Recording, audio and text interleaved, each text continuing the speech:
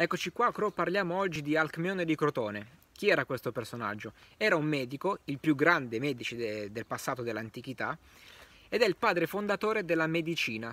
Dovete sapere che prima di Alcmeone si pensava che il nostro corpo, gli input che provenivano dal nostro corpo, erano dati dal cuore, dal fegato, dai polmoni, eccetera, eccetera.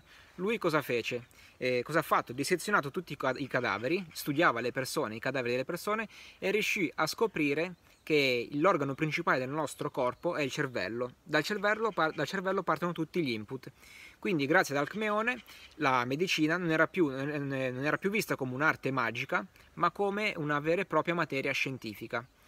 E Alcmeone ha lasciato delle scritture, quella che ci è arrivata oggi eh, ai nostri giorni è l'opera sulla natura, dove spiega che il corpo umano è una macchina e per far sì che bisogna star, per, far, per, per star bene il nostro corpo ha bisogno di mantenere degli equilibri e se si creano questi scompensi di equilibrio si creano dei problemi, quindi lui cosa dice? Che bisogna tenere sempre il nostro corpo in una sorta di equilibrio naturale. Questo è tutto, ci vediamo al prossimo episodio.